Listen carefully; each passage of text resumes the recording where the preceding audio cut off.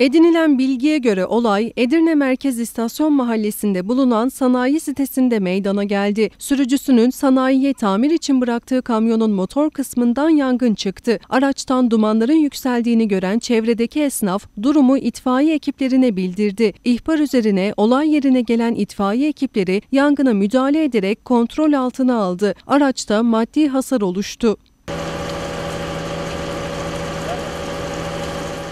Çevredeki vatandaşlar araçtan patlama sesi geldikten sonra dumanlar yükseldiğini ve itfaiye ekiplerine haber verdiklerini belirtti.